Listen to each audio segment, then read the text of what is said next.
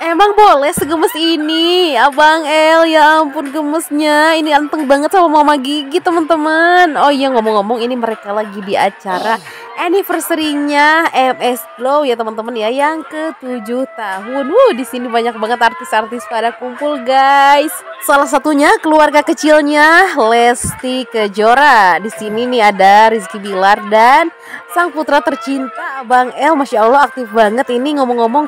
Kok bisa senempel ini sih sama Mama Gigi? Pasti kalian iri kan guys? Liatnya iya ampun bisa deket-deket kayak gitu guys. Happy banget lagi anaknya anteng. Ini diajak foto-foto juga dia excited banget ya teman-teman ya.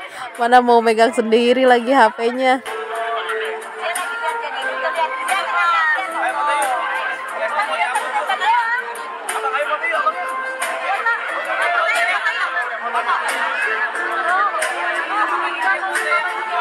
Nah ini mereka pengen foto sama Abang El ya teman-teman. Tapi Abang El gak mau Gak mau digendong sama yang lain. Maunya sama Mama Gigi guys. Ih gemes banget kan? Ya ampun Abang. Makin pinter ya makin ke sini. Dan tentunya makin ganteng juga teman-teman. Siapa dulu dong orang tuanya